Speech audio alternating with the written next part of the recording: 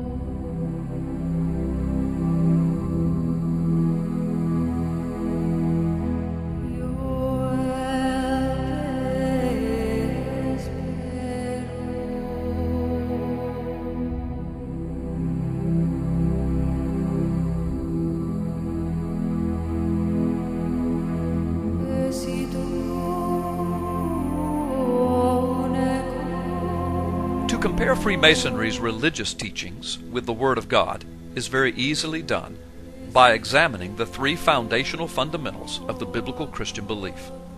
No one could truly consider themselves to be a biblically born again Christian without holding to these three beliefs.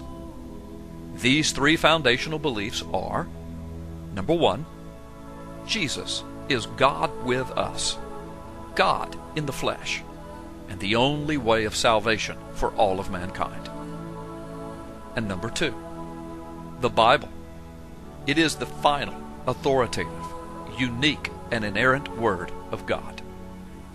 And number three, salvation is found only through Jesus Christ and the grace of God alone. Every religious system that is cultic or biblically false in nature will fail at least one, and in most cases, all of these three doctrinal tests. Let's examine these beliefs next to the teachings of Freemasonry. The first one Jesus is God and the only way of salvation.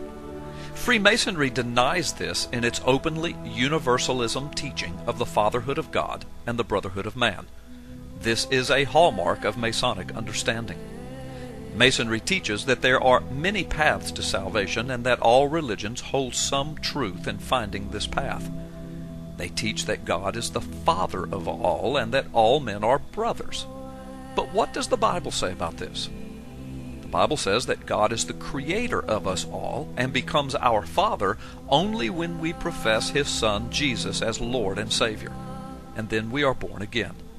We are only brothers if Jesus alone is our Lord. And this really is very, very different than the Masonic Universalist teaching of the fatherhood of God and the brotherhood of man. Biblical Christianity has long denounced this type of universalism teaching as heresy. Yet it is the foundational teaching of Freemasonry.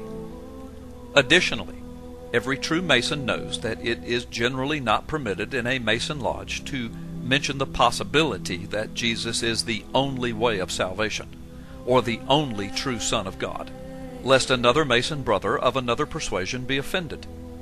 Listen to Masonic authorities on this matter of biblical doctrine. From Albert Pike, Morals and Dogma God is, as man conceives him, the reflected image of man himself. From J.D. Buck, Mystic Masonry the only personal God Freemasonry accepts is humanity in toto. Humanity, therefore, is the only personal God that there is.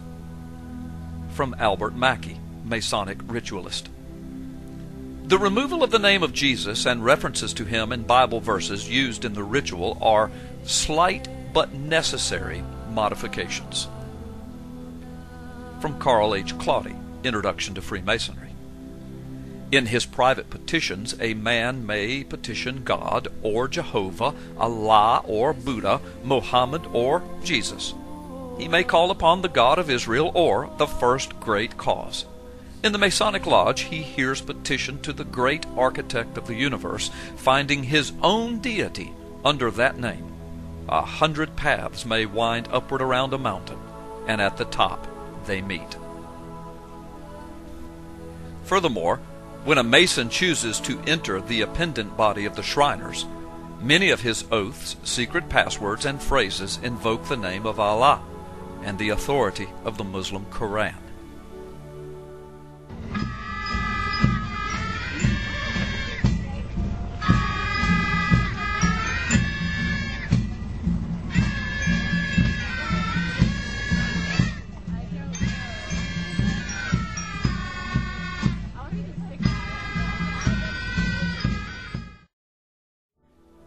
May Allah, the God of Arab, Muslim, and Mohammedan, the God of our fathers, support me to the entire fulfillment of the same. The invoking of the name of Allah is done regardless of whether a man is a professing Christian or not.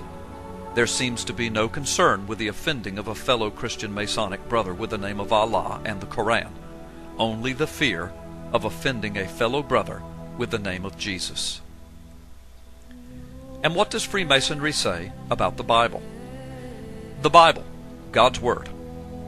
While it is true that a Bible is generally found on a Masonic altar in the lodge and that it is the centerpiece to much Masonic mythology and teaching, it is equally true that the Muslim Koran would be found in a Muslim lodge or the Hindu Vedas would be found in a Hindu lodge. Masonry actually teaches that the Holy Bible is just one part of God's Word and a part of the furniture of the lodge, and that the complete Word of God is found in all the religious teachings of the world. This is a far cry from the foundational understanding of biblical Christianity and the Word of God.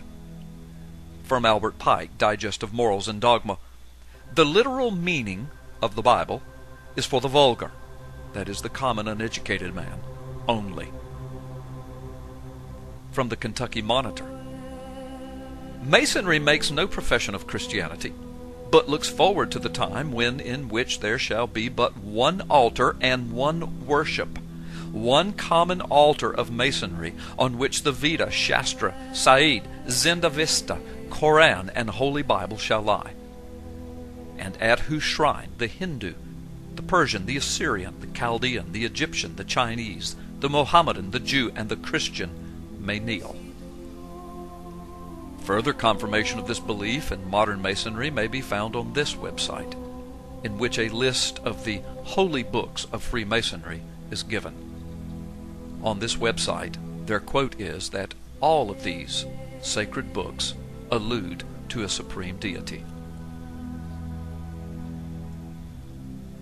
From Chase's Digest of Masonic Law, it is stated that Masonry has nothing to do with the Bible and that it is not founded upon the Bible. For if it were, it would not be Masonry, it would be something else.